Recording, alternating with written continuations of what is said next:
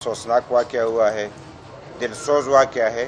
اس قسم کے جو بھی واقعہ ہوتا ہے تو انسان کا دل دکھتا ہے۔ بہت سارے واقعات پاکستان میں اس طریقے سے ہوئے ہیں اور ہر واقعے پہ ہمیں دکھ پہنچا ہے۔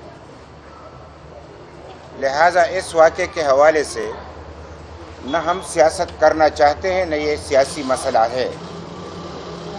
یہ انسانی مسئلہ ہے، انسانیت کی بنیاد پہ ہے۔ اور ہم یہ ضرور چاہیں گے کہ اگر حکومت کی جو پارٹی ہے، اگر وہ یہ خود مسئلہ بر وقت اٹھاتی، تو ہمیں خوشی ہوتی کیونکہ ان کی ذمہ داری ہے۔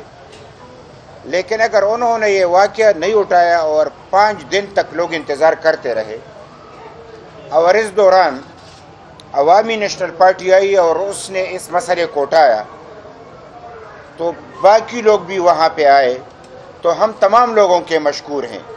لیکن سیاست نہیں کی، ہم نے انسانیت کے ناطے سے یہ مسئلہ اٹھایا ہے۔ اور اس حوالے سے بہت لوگ ڈرتے ہیں کہ خدا نہ کرے کچھ اور ہو جائے، کچھ اور ہو جائے۔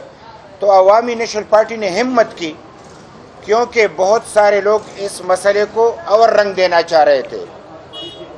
یعنی تانے دار نے جو تانے میں جو غلط الفاظ استعمال کیے انہوں نے کہا کہ کسی کے ساتھ بھاگ گئی ہوگی۔ یہ کوئی الفاظ ہیں؟ اگر ہم نہ آتے تو شاید تانے دار کی بات مان لی جاتی اور ایف آئی آر بھی درج نہ ہوتا۔ تو اگر اس کو لوگ سیاست کہتے ہیں کہ دردناک واقعے کو ہم آئے اور لوگوں نے نوٹس لیا، تو یہ تو سیاست کی فتح ہو گئی۔ یہ تو اچھی بات ہو گئی کہ اگر ایک مظلوم خاندان جو کہ وہ پانچ ان کی بیٹیاں تھی جو ایک بیٹی اس میں چل بسی اور چار ان کے بیٹے تھے۔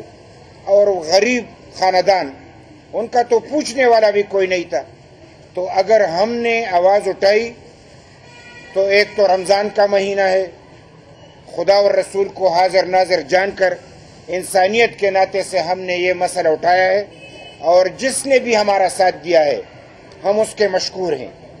لیکن ہم یہ بھی ضرور جاننا چاہتے ہیں کہ لوگوں نے اس کو غلط رنگ کیوں دیا؟ اگر زینب کی بات ہے قصور کی بات ہے تو میں آپ کے سامنے بیٹا ہوں، میں خود اپنے پارٹی کا وفد لے کے قصور گیا تھا۔ میں نے زینب کے لیے آواز اٹھایا۔ اگر میں پنجاب کی بیٹی کے لیے آواز اٹھا سکتا ہوں، تو کیا پختون کی بیٹی کے لیے آواز اٹھانا جرم ہے؟ یہ کیا بات ہو گئی؟ کہ اگر ظلم ہوا ہے اور ہم نے ظلم کا احساس دلایا ہے، تو اس پہ لوگوں نے غلط تبصرے شروع کر دیے۔ اور پھر یہ بھی کہا کہ یہ تو افغانی ہے، تو کیا افغانی انسان نہیں ہے؟ کیا افغانوں کی عزت نہیں ہے؟ اگر ایک بندہ یہاں پہ عربی رہتا ہے، یہاں پہ مصر والے رہتے ہیں، ہندوستان والے رہتے ہیں، افغانستان والے رہتے ہیں، افغانی رہتے تو کیا ان کی عزت محفوظ نہیں ہوگی؟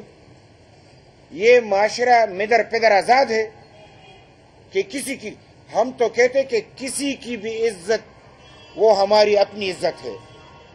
چاہے وہ پنجابی ہو، سندھی ہو، بلوچی ہو، کوئی بھی ہو، وہ ہماری اپنی عزت ہے۔ لیکن اگر آج پختون کی بیٹی کی یعنی بے حرمتی بھی کی گئی ہے، اور ان کو شہید بھی کیا گیا ہے، اور پھر پڑی ہوئی تھی، اور لوگ ایف آئی آر بھی درج نہیں کر رہے تھے، تو ہم نے فریاد کیا، تو جرم کیا۔ اگر یہ جرم کسی کو پسند ہے یا نہیں ہے، یہ جرم ہم کرتے رہیں گے۔ ہم اپنی بیٹیوں کی بے حرمتی پہ خاموش نہیں بیٹھ سکتے۔ اگر سندھ کی بیٹی ہے تو وہ بھی میری بیٹی ہے، بلوچوں کی بیٹی وہ بھی میری بیٹی ہے، پنجاب کی بیٹی بھی میری بیٹی ہے اور پختونوں کی بیٹی بھی میری بیٹی ہے۔ یہ ہم سب ایک ہیں۔ لیکن یہ بات کہنا کہ یہ افغانی تھی تو افغانیوں کی عزت بھی اتنی ہی عزیز ہے۔ جتنے کی اور انسانوں کی عزت عزیز ہے۔ ایسی باتیں میڈیا پہ کرنا مناسب نہیں ہے۔ اور پھر یہ بات کہنا کہ اس میں فلاں لوگ شامل ہو گئے، فلاں لوگ شامل ہو گئے، تو یہ باہر کا ایجنڈا ہے۔ نہیں، ایسا نہیں ہے۔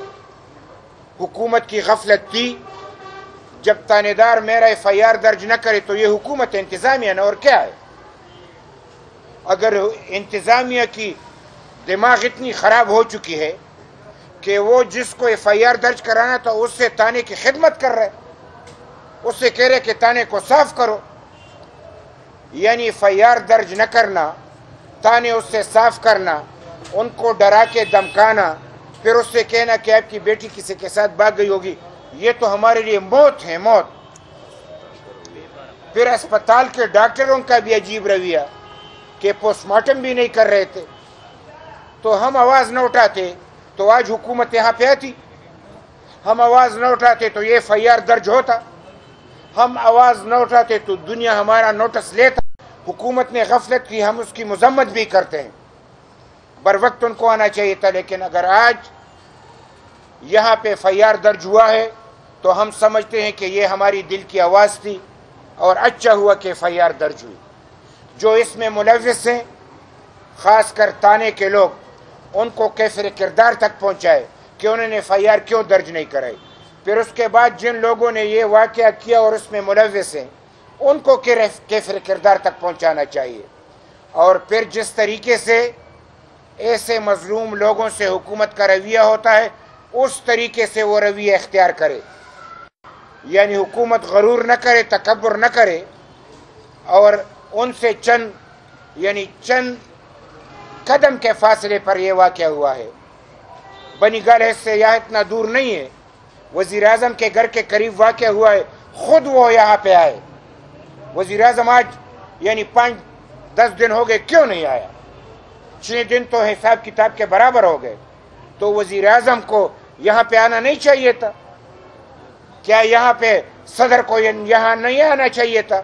یہ تب آئیں گے کہ دھوم درام سے آئیں گے اور پھر نمبر بڑھائیں گے۔